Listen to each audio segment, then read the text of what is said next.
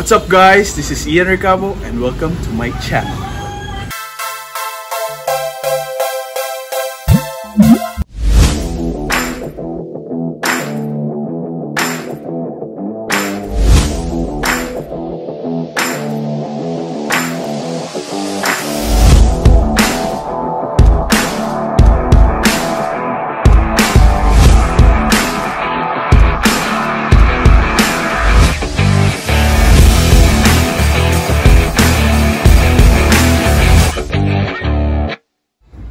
Ayun guys, bali ang gagawin natin today is yung mga exercises na pwede natin gawin sa bahay kahit walang gym equipment.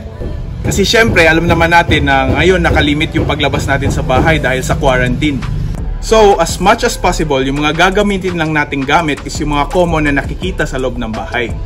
What are we waiting for? Simulan na natin! House and I'm in the house, bored. Bored, bored in the house and I'm in the house, bored. Bored, bored in the motherfucking house, bored and I'm bored in the motherfucking house, bored. Bored in the house, bored in the house, bored. Bored, bored in the house.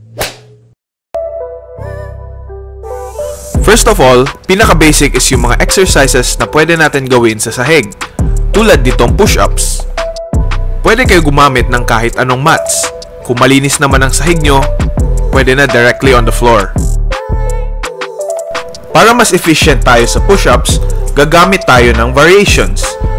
First is yung incline. Dito, mas mahihit yung lower chest natin. Kailangan lang natin gumamit ng stable na patungan, tulad ng icebox or upuan. Second is yung decline. Dito naman, mas mahihit yung upper chest natin. Para mas safe, pwede nyo isandal sa wall yung papatungan nyo.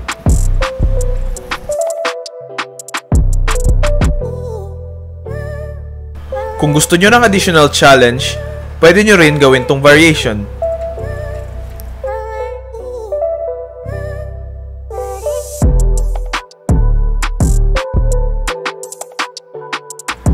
Pero if medyo challenging pa sa inyo yung regular push-up, pwede nyo rin gawin itong scaled version.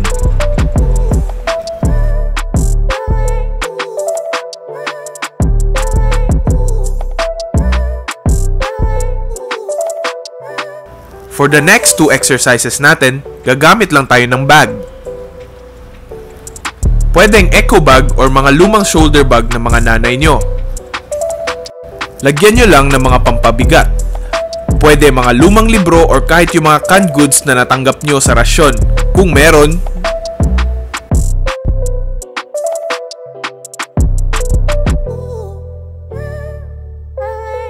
So sa exercise na to, tinatry natin i-mimic yung cable flies exercise.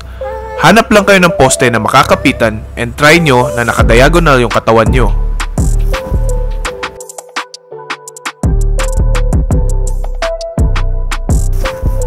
Next, kunin nyo ulit yung ice chest and try nyo higaan. Dito, nakalawit yung upper body ko kasi maliit sa akin yung box. Isipin nyo na lang na may additional core exercise pag control sa upper body nyo. Dito, pwede din kayo gumamit ng water bottle. Basta make sure nyo lang na tightly closed yung takip kung ayaw nyo maligo habang nagwo-workout.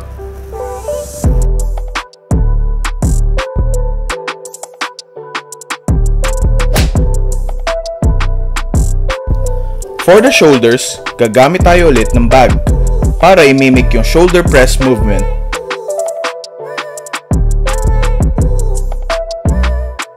Pwede nyo rin gamitin yung echo bag for side races.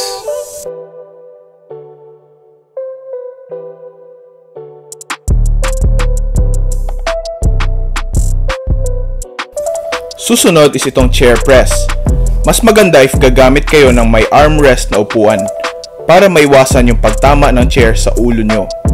Patungan nyo na lang ng weight sa taas para mas challenging.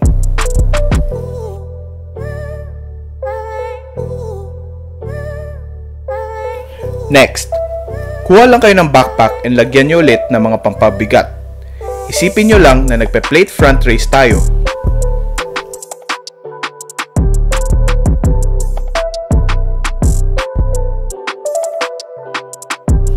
Sa last shoulder exercise natin, gagamit tayo ng water gallon.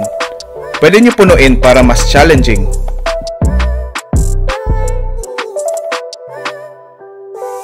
Kung wala kayong water gallon, pwede rin gumamit ng timba. Huwag nyo lang pupunuin para di tumapon yung tubig.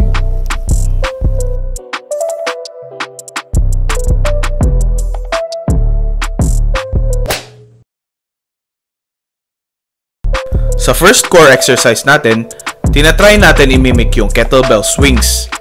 Dito, may konting assistance tayo from our glutes and hamstring muscles. Basta make sure lang natin na yung gagamitin nating gasol is walang laman para safe. Sa succeeding exercises, floor na lang yung kailangan natin. Basic mountain climbers,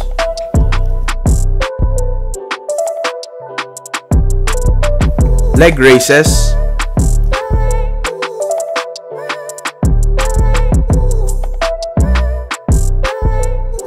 butterfly sit-ups,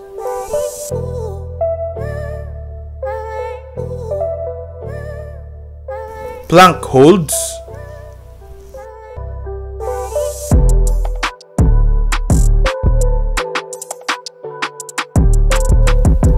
and hip dips.